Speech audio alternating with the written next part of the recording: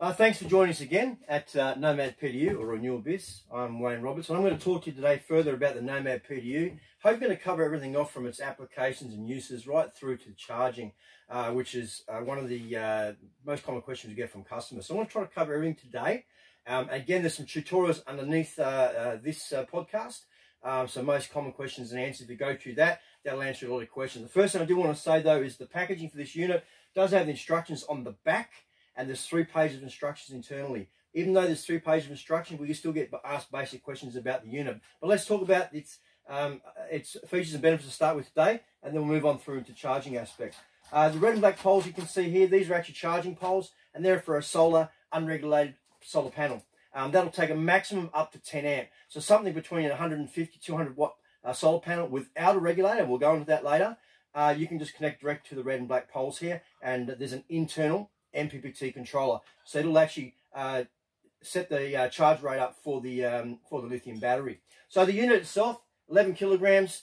Uh, it's 320 by 315 by 90. It does not have to be lying up this way, stand upright. You can do it on the side. You can lie flat. You can slide it under a seat, for example. So there's no need to have it up this way. It's just so that we can see it for the for the purpose of this podcast. Um, you'll find over here, this is a regulated input. The regulated input is 25 amp, maximum 25 amp. First question that people say is, can I use my current DC-DC in my vehicle to charge it?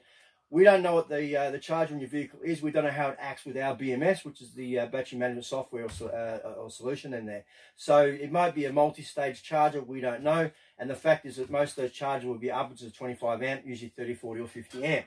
So this again, 25 amp maximum charge regulated. So I currently down here got a 300 watt solar panel. And that 300 watt solar panel, it's not that uh, efficient but that does have a regulator on it already. And we'll show you that shortly. And that goes into here. And that realistic is going to probably give me only 7 or 8 amp, which is still a fine charge anyway. Um, 100 amp hour battery. Really, the charge on this, a good charge rate is about 10%. That's kind of a rule of thumb. Um, it's not an exact science. Um, each of the ports, two Siga sockets and an Engel, they are all 10 amp outputs each. Okay, then you've got your dual USB ports over here and 2.1 mil jacks. So the two Sigas, the one Engel, they're all 10 amp outputs. The USB, the duals, okay, so the 2.5 and 1 amp outputs there. I'm charging my satellite phone at the moment, um, as you can see. And the other thing I want to point out on the end here is that you've got these two little jacks. They're 2.1 mil jacks. These little jacks are available from pretty much any electrical store. And what they allow you to do is you can see here, red and black cable connected into here. Very, very clear on this and that allows you to plug in. Like I've got here 14 lights. So I've got 14 lights running across this C container and that's all running off one of these jacks. It's only pulling 1.47 and that's with the uh, actual um, uh, charging of the, um, the satellite phone. Um, but what that means is you don't have to type the rest of these for your lighting you can just get these little jacks and away you go.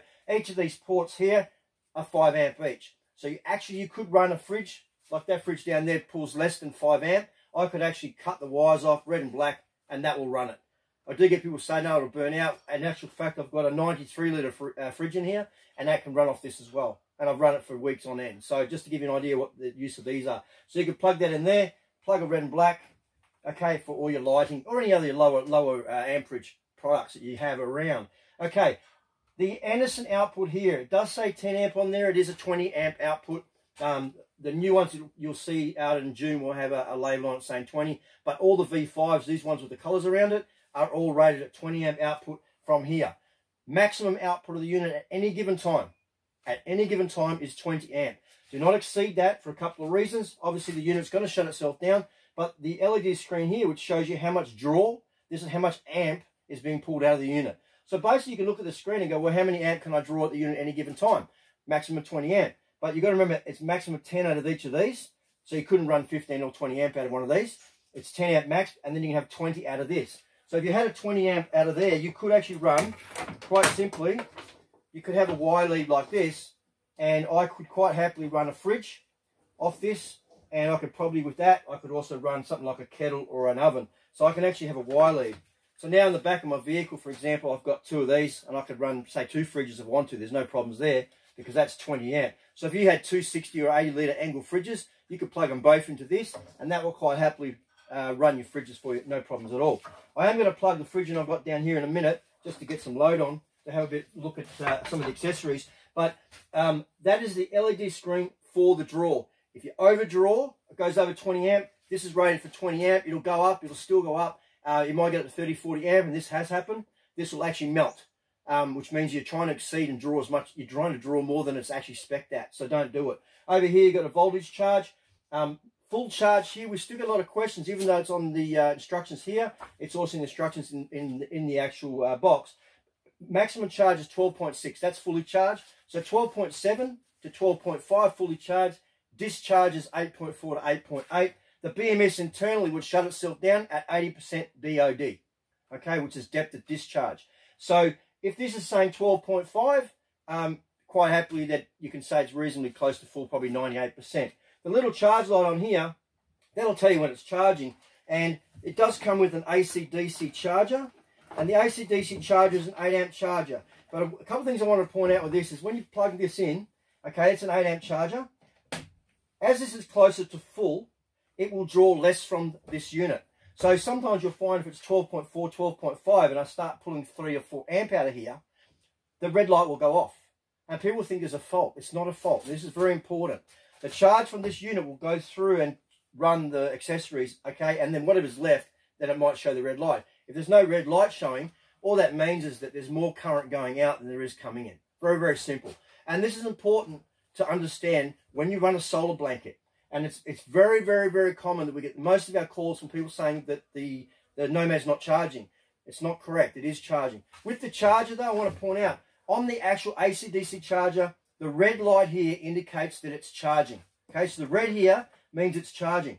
Okay, if I pull this out, you'll see that that's gone green.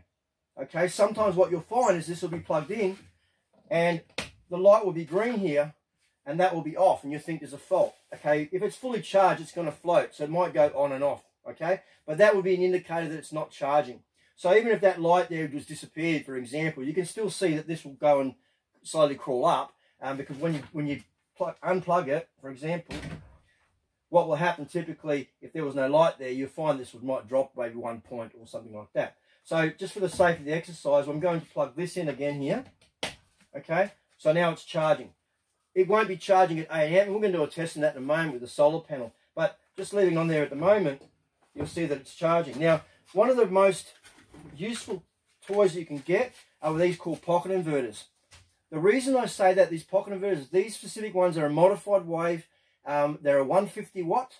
And it's important to realize, okay, 150 watt, this actual charger draws 109 watt. Most of your uh, laptop chargers, they draw around 100 watt. And you've got to remember that just because it's got a plug in here for 240, you can't plug your hairdryer or your uh, plasma gun or your Ninja 1000 watt. Okay, 1000 watt, um, 1000 watt microwave or 1000 watts uh, blender, okay, it's going to melt this. So you don't use it for that.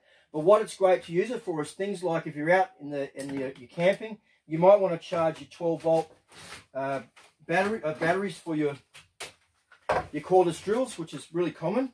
And it's one of the reasons we put a 25 amp uh, BM, or 25 amp BMS in here is to be able to take a, a higher charge for the tradies when they're out and they're working off site, sorry, they're working off grid basically, uh, construction. They can take their fridge and they can trolley it out with their Nomad and they can have their you know fridge running and all the rest of it, but they can also be charging these. So these I know when the battery's flat, you'll see that the charge, or sorry, the current will come out. Firstly, the inverter goes on, okay, and then secondly, um, the charge for the battery. Once it's charging, if this was empty, this would pull around about 6 amp. As you can see now, it's 5.8, but again, this was not completely discharged. It's about three quarters full, so it's pulling 5, um, but that's also with the uh, USB plugged in, um, and the inverter pulls about 0.5. So you can charge this, for example, we see we've got 5.8 there which means we still have a little bit left that we can plug in. Now, you can plug in, for example, and we will do it, uh, a little camping oven like this. Now, this camping oven will draw, they say 10 amp. I know it draws a bit more, and what I've done is I've cut the end of it off on the one I've got and put an Anderson on there. But for the sake of the exercise, you can heat up your pies, for example. I can plug this in here. Okay. 14.15, 15.6, 15.9. Okay, so now you've got your oven running. So you've got about three or four amp left. You've got to remember we're running your lights across the top here and you've got your oven running here. So for the just for the sake of the exercise, let's pull this inverter out. Okay. And the other really, really cool thing you can do with these, and that's why they're just so useful, is not only can you plug other things in when you're out uh, camping, like uh, even uh, a small blender, or if you want to go over the top, you can get yourself a um, uh, electric carving knife if you wanted to. And I've got, so I've just gone over to 18.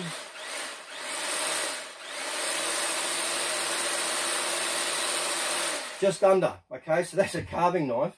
Um, what else could I run off it? You can actually run a multi-speed blender, which I've got here. And again, I'll just plug it in.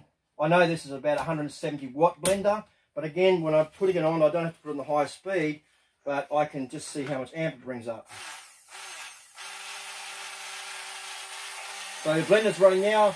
I've got the oven still running over here, and we're still at 13.5. So look, the trick is if you as long as you keep watching the screen and you don't go over 20, you know that you're okay. So if I start unplugging these things here, for example, okay, I'll take this out. Okay, what else can you use the inverter for? Not only can you run all your other electrical appliances, small electrical appliances, don't run anything large like a, a high-powered hammer drill and stuff like that. You can run, for example, a Dremel, uh, which is my Dremel here. I do use that, and that runs at about 6 amp.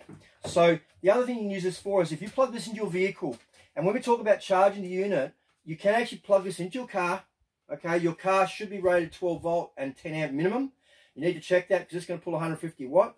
You plug this into your car. You now basically have a 240 volt um, connection, but don't plug in, again, don't plug in a 1000 watt uh, Ninja uh, because you will actually end up melting the uh, the cabling in the car, if not melt this, okay? You plug this into the car, you now got a 30, 240 volt uh, point. You can take your AC-DC charger here, and what you can do is I could actually take this, my, my 8 amp charger, okay, I plug my 8 amp, that's now into the car. So now this is in the car, and I've got my 8 amp charger connected, and if that was in the vehicle, it would fire up, and this would go red. Now you can do this, it's not a permanent um, solution for charging the Nomad when you're away. It's great to use it for a couple of hours here and there when you're between solar blanket, okay? You do have to remember though, with 80% DOD, this is not AGM. Okay, so what it means is that you have so much more power. If you're running things like ARB fridges and Engels and Waecos, you will find that typically if you've got it on two degrees, depending on the ambient temperature, whether the food's cold, how full it is, and so on, people are getting, you know, eight to 10 days in a lot of cases with 40 litre fridges. So this one down here is not very efficient. I'm going to plug that in for you right now.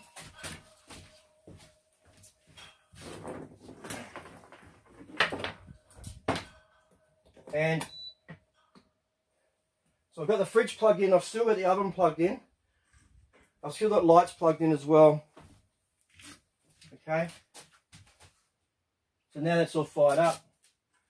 And the fridge will kick in in a, in a moment and then it will end up going up over uh, probably another 4 or 5 amp as it just starts. You notice that if I left this plugged in, which I'll do again, just so we've got power going in, you'll notice that the red light's on here. It says it's charging. There's no red light on here. We'll get an email. We'll get an email saying there's, there must be a fault. It's not. This is actually charging. And what's happening is because there's a lot of amperage going out. It's more that's going in. Because this is up around about probably 88, 90% full, it still won't draw as much amperage from this anyway. So this is probably putting about five, I reckon five to six in at the moment, but it's drawing out eight. So that light, that light